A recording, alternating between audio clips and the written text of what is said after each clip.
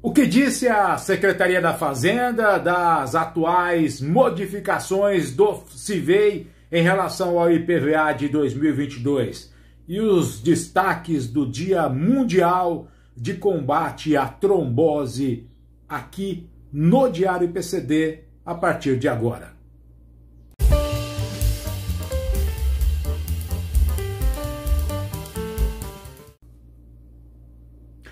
Olá a todos vocês, sejam muito bem-vindos ao canal do Diário PCD, aqui no YouTube, Facebook, em todas as redes sociais. Nós estamos para levar a notícia e informação a todas as pessoas com deficiência do estado de São Paulo, do Brasil e do mundo. Nossas informações chegando em vários países. Muito obrigado por estar conosco. Se possível, deixa o like, compartilha essa transmissão. Sejam todos muito bem-vindos, estejam todos vocês sempre muitíssimo bem. Eu sou o Abrão Dib Júnior, homem de pele clara, barba bem baixinha, grisalha, o óculos de haste fina e lente transparente, cabelo escuro penteado para trás. Estou com uma camisa de gola polo cinza, ao fundo um painel branco com a placa que o Diário PCD recebeu em uma homenagem durante a Mobility Show da Comissão 48 do Podemos Sim PCD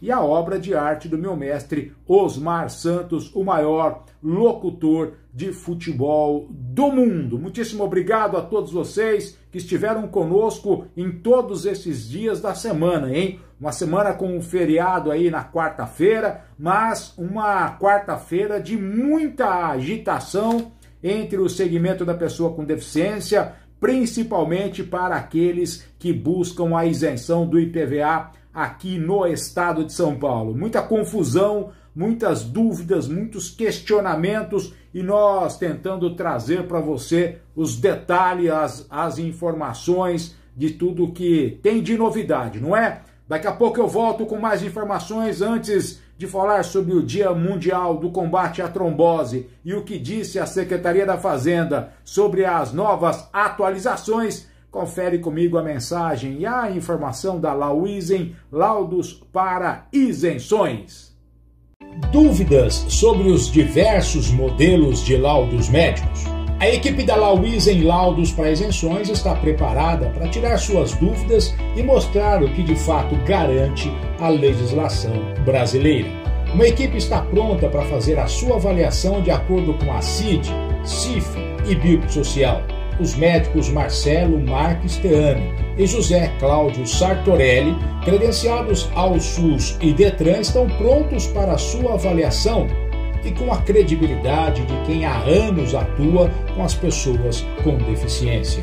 A psicóloga Elaine Ribeiro da Silva, credenciada ao Detran, também está à sua disposição. Perícias com critérios justos e de acordo com o que garante os direitos das pessoas com deficiência. Uma equipe pronta para atender você de qualquer parte do estado de São Paulo e do Brasil com a prestação de serviços de utilidade pública com informações corretas e atualizadas. Pensou em laudos com profissionais credenciados ao SUS e Detran? Pensou em Lauisen Laudos para Isenções.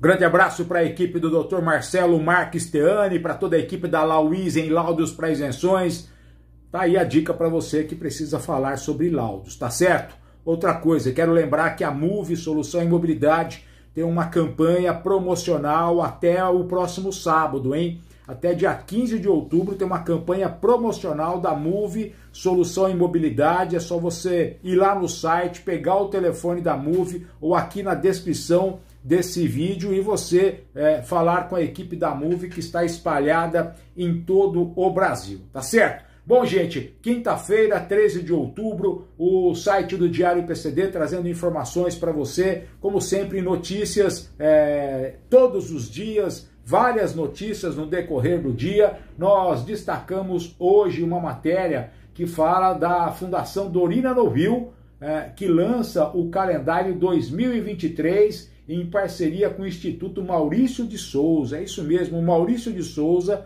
faz um trabalho muito legal e agora lançando o calendário 2023 junto com a Fundação Dorina Noil. Lá você vai saber como é que você pode, inclusive, ter o seu calendário em casa. Eu já pedi o meu já.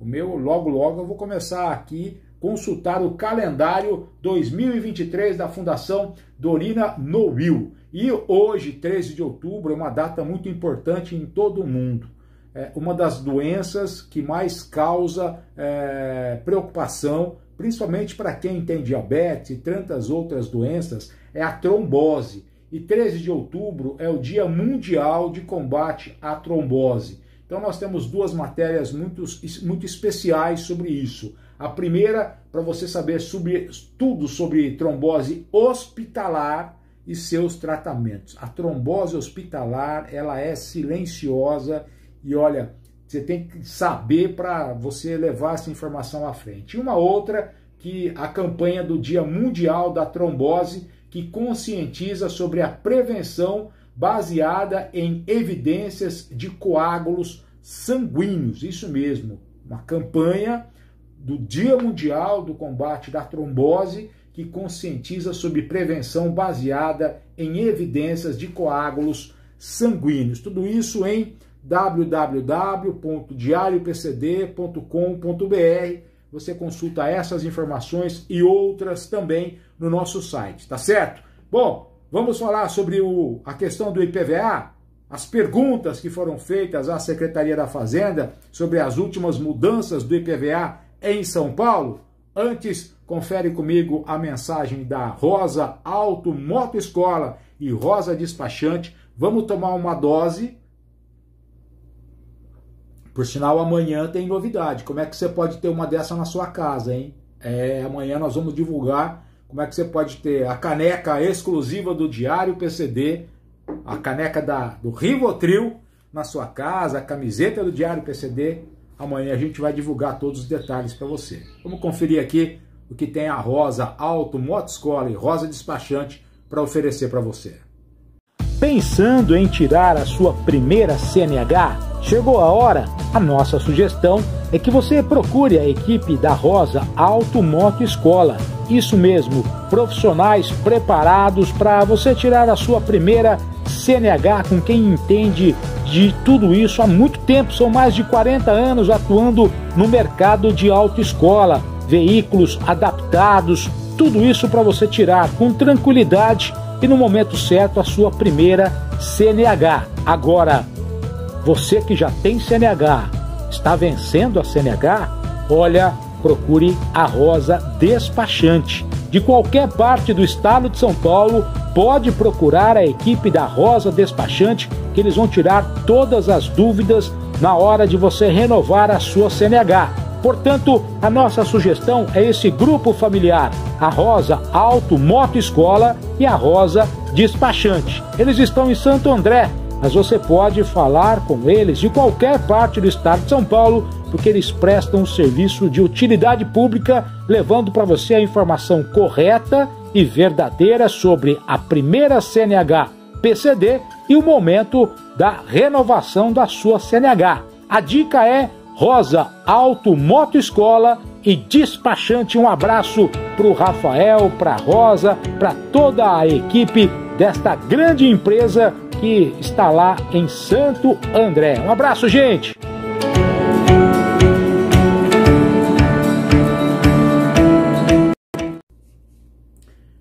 Abraço para todos da equipe da Rosa Auto Motoscola, Rosa Despachante. Você está aí na hora de renovar a sua CNH? Está na dúvida? A equipe da Rosa pode te ajudar a esclarecer, tirar muitas dúvidas para você que está no momento da sua da renovação da sua CNH PCD. Bom, pessoal, vamos lá. O Diário PCD se comprometeu ontem, se comprometeu na terça-feira de buscar novas informações sobre tudo que ocorreu, sobre o terremoto que aconteceu no CIVEI, né, no sistema de informatização da Secretaria da Fazenda, do meio da tarde da terça-feira para a noite e ontem também, alterações no sistema, no sistema ontem, muita coisa que apareceu na terça-feira, mudou ontem e nós é, pedimos muitas vezes é, para que as pessoas tivessem calma que quando há uma mudança no sistema, ela é periódica, né? ela é lenta, não é tudo de uma vez só. O sistema altera uma coisa para depois alterar outra, para depois alterar outra. É, me parece que a informática ela está muito avançada, né? mas nem tanto assim quando se fala em estado de São Paulo. E muitas dúvidas aconteceram. Ah, talvez uma delas foi aqueles que não tinham feito o novo pedido de acordo com o que previa a legislação. Né? Se a pessoa quisesse ter a isenção em 2022 e essa pessoa tinha em 2020 e 2021, ela faria um novo pedido.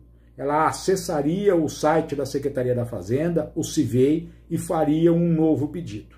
Né? É, assim como as pessoas que estão comprando o carro em 2022, que compraram o carro em 2022 que fizeram a troca de carro, essas pessoas também devem fazer um novo pedido. Ocorre que a legislação ela foi sendo alterada. E nós tivemos um último decreto, que foi o decreto 67108 de setembro de 2022, que alterou parte do decreto 66470, que foi lá de 1 de fevereiro. E na alteração desse decreto, acabou dando à Secretaria da Fazenda a questão de interpretar algumas coisas e na interpretação nós somos pegos de surpresa, principalmente em relação aos novos pedidos. Muitos que fizeram um novo pedido estavam com status de suspenso, passaram para deferido. Outros ainda não. E muitos não fizeram um novo pedido e mesmo assim estão com status de deferido. Em outros casos, as pessoas estavam com status de deferido, mas a Secretaria da Fazenda tinha liberado o proporcional a ser pago na, na noite de terça-feira, o proporcional com os acréscimos legais.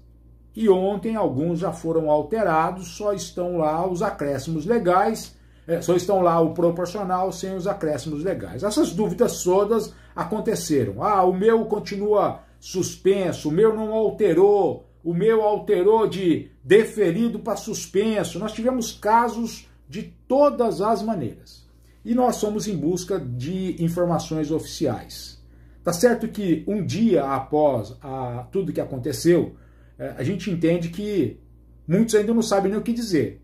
Se você ligar no Fale Conosco da Secretaria da Fazenda e buscar informações com os atendentes, talvez eles não saibam o que falar. Mas nós somos em busca de informações oficiais junto à assessoria de comunicação da Secretaria da Fazenda. E nós temos aqui seis, seis perguntas que nós fizemos à Secretaria da Fazenda e nós queremos compartilhar com vocês o que disse a Secretaria da Fazenda. A primeira delas, quem exatamente foi atingido pelas adequações do CIVEI que ocorreram na tarde da terça-feira. Nós pedimos para eles estimarem o número de pedidos que estavam como suspenso e passaram para deferido, etc. e tal.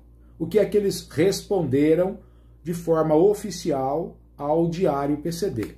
De que a convalidação da isenção do IPVA 2022 e 2023 para o veículo de propriedade de pessoas com deficiência que teve isenção deferida no exercício de 2020 ou de 2021 está sendo processada com base no laudo apresentado anteriormente, não sendo necessária nenhuma ação por parte do beneficiário.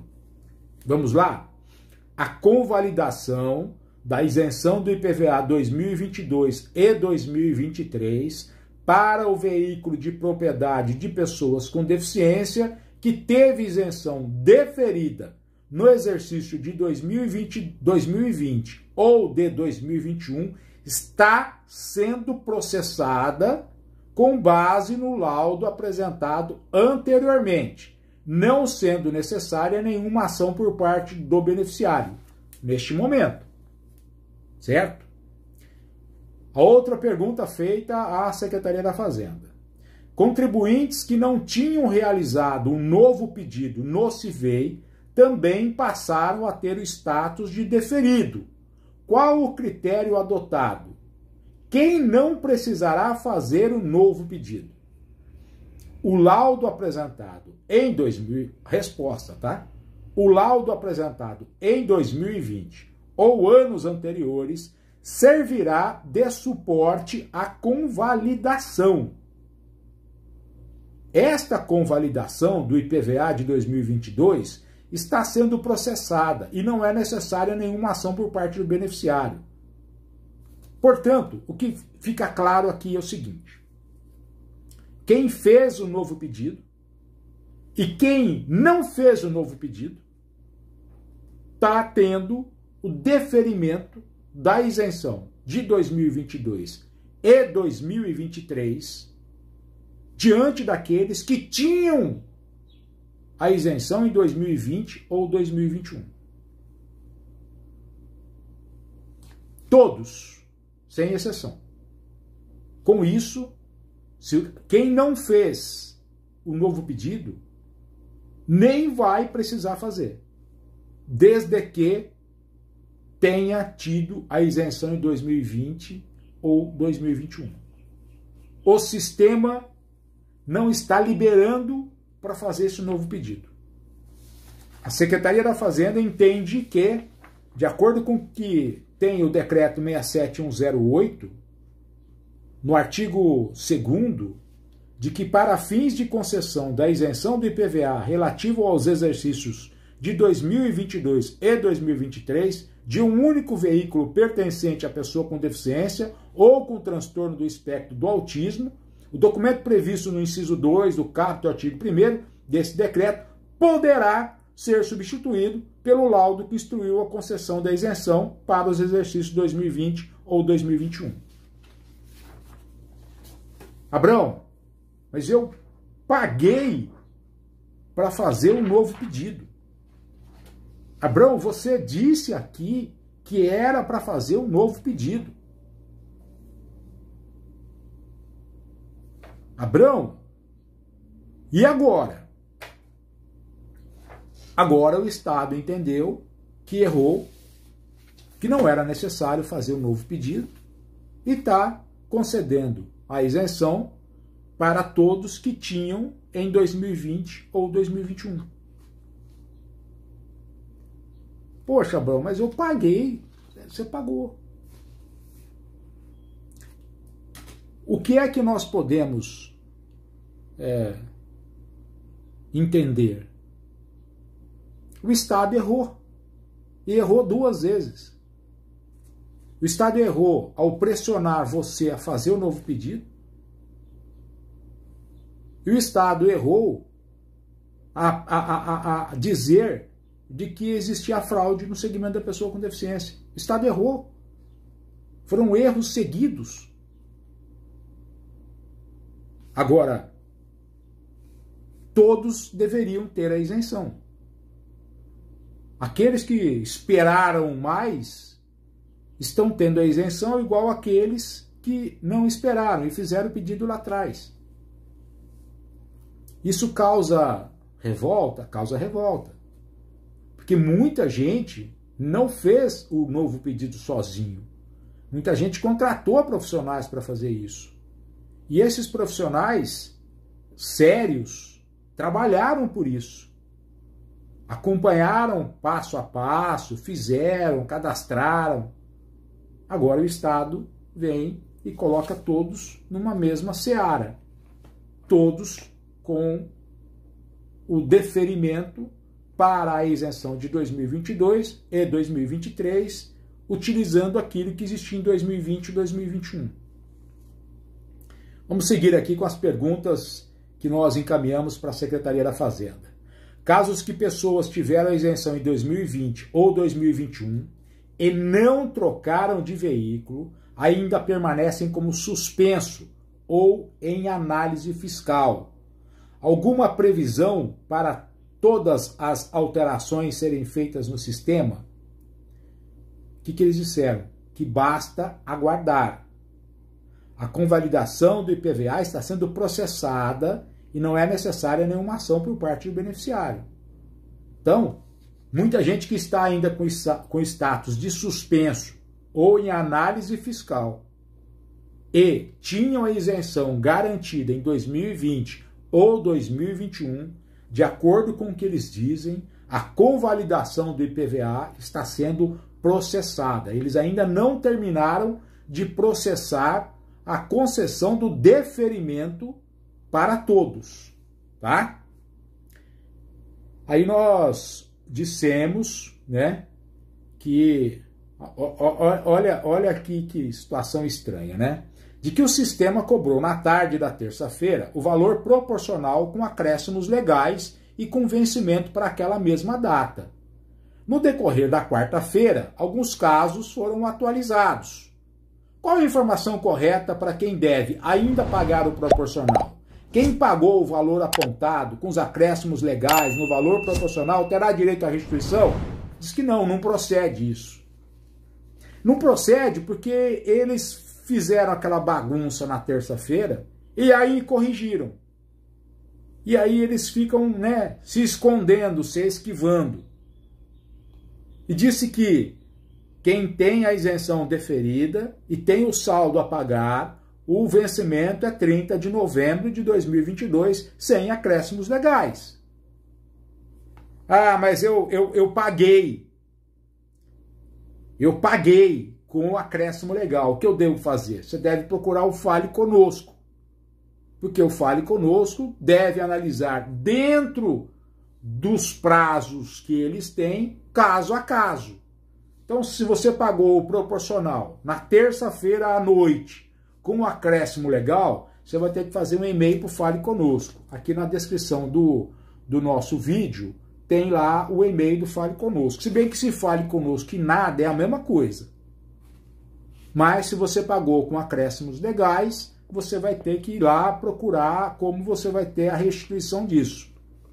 Acho que vai ser uma tremenda dor de cabeça. Por isso que nós tentamos correr na terça-feira e nós fizemos uma live correndo na terça-feira para dizer para as pessoas não pagarem.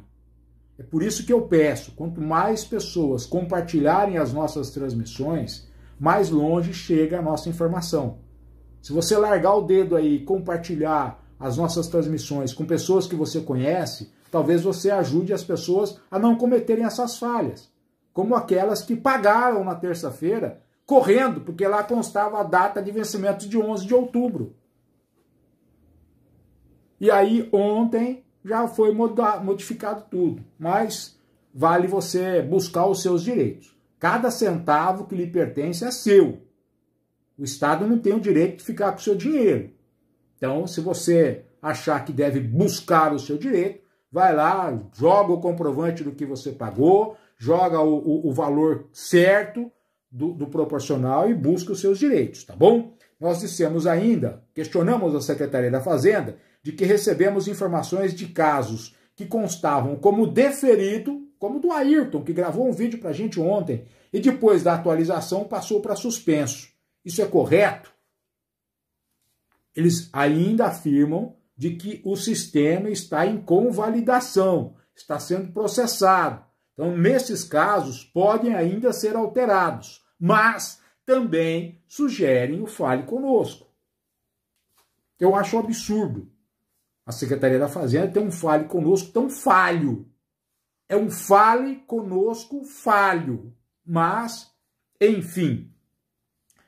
É, o, o, o, e aí, tem uns casos, é, de novo, de, daqueles que compraram o carro em 2022, que trocaram de carro agora e ainda estão com a cobrança do IPVA ativa com acréscimo legal. Fizeram o pedido, o pedido está lá em análise fiscal e correndo os acréscimos legais. Diz a Secretaria da Fazenda que os veículos estão sendo registrados e licenciados. Sim, ok. Estamos atendendo às demandas encaminhadas ao Fale Conosco de acordo com a nossa capacidade dentro do prazo legal. Os acertos nas contas fiscais serão efetuados após o julgamento do pedido de isenção de IPVA para PCD feito no CIVEI. Aí que tá. Esse julgamento vai ser depois da perícia do IMESC?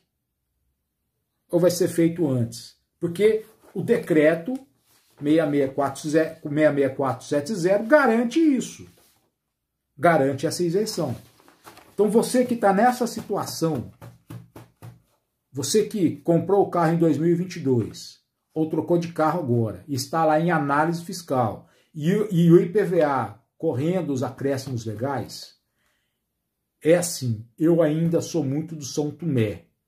Eu ainda quero acreditar vendo. E aí eu iria ao posto fiscal.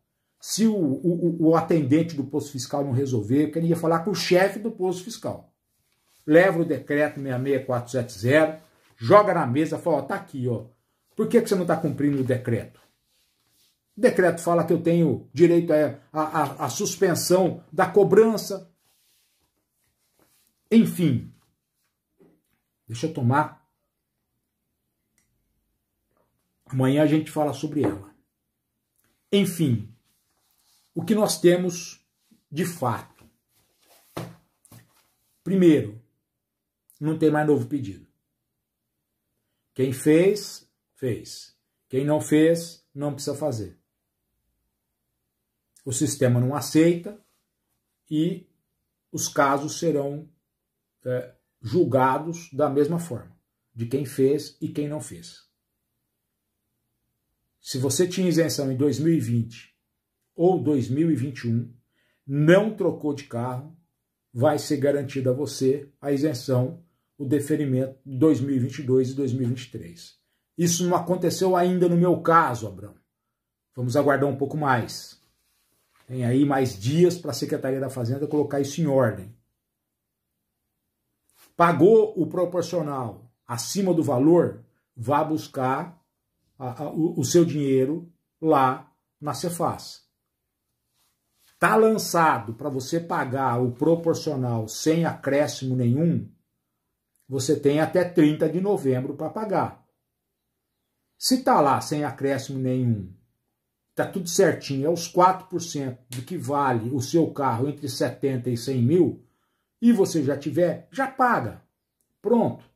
Pagou, aí é a gente esperar 2023 para outras novelas. Estou esperando para fazer o tal do laudo. Que laudo é, Abrão? É um laudo que o IMESC está tentando colocar a goela abaixo. É um laudo que ainda não está sendo emitido para ninguém. É um laudo que ainda os médicos vão passar por uma série de, de encontros, reuniões, cursos e não tem laudo nenhum. Não existe laudo nenhum para quem comprou o carro em 2022 ou para quem trocou de carro em 2022. Você vai ter que aguardar a abertura do agendamento do IMESC lá no CIVEI. Dizem que isso deve acontecer na primeira semana de novembro. Mas isso não aconteceu. Então não vai querer comprar laudo. Quando isso acontecer, e se isso acontecer, quem vai pagar por esse laudo é o governo do estado. Então você deve aguardar mais, infelizmente.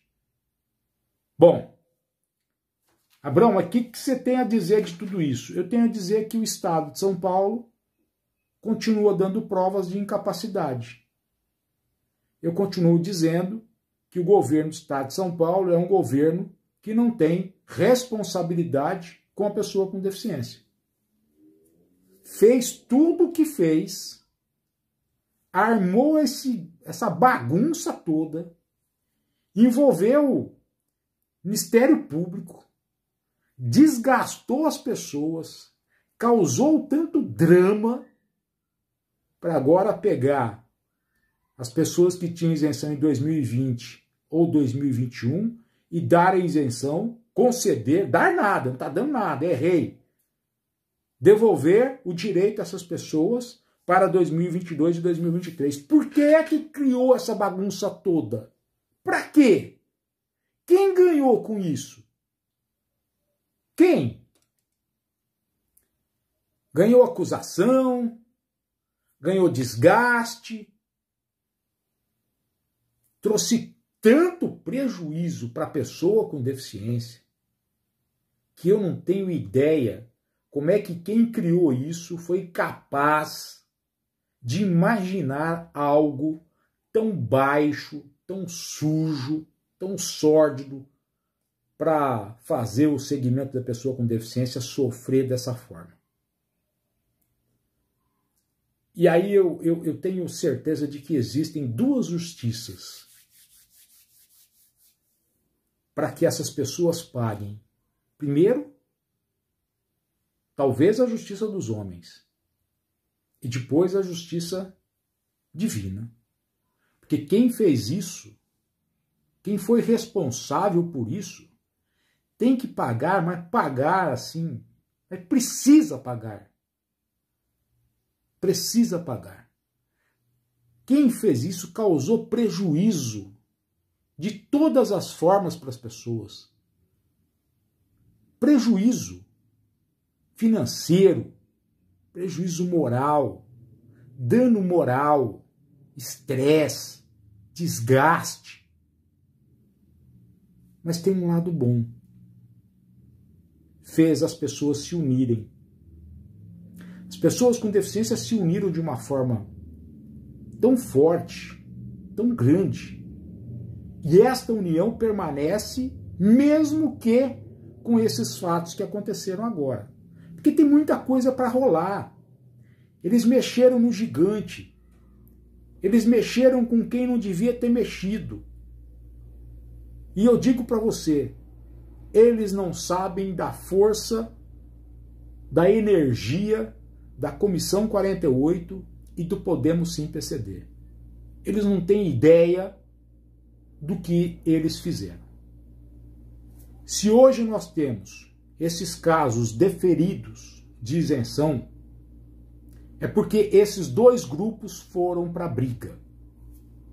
Enquanto muitos ficaram esperando a sobra, enquanto muitos foram, como no mundo animal, é a hiena, outros foram em busca da presa. Outros lutaram e lutaram muito pela presa, e outros ficaram como a hiena, esperando pela sobra.